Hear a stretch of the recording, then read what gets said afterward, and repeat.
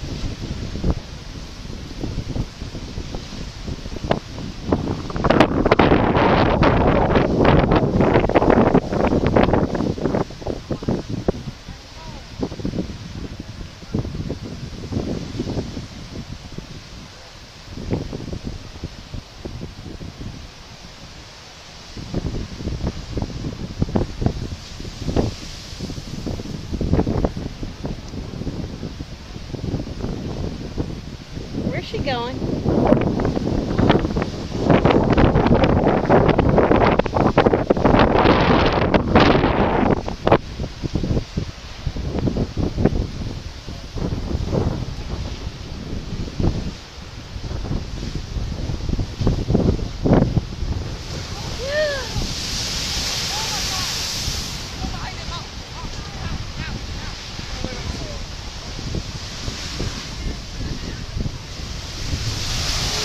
my God. Woo! Oh, no. Oh.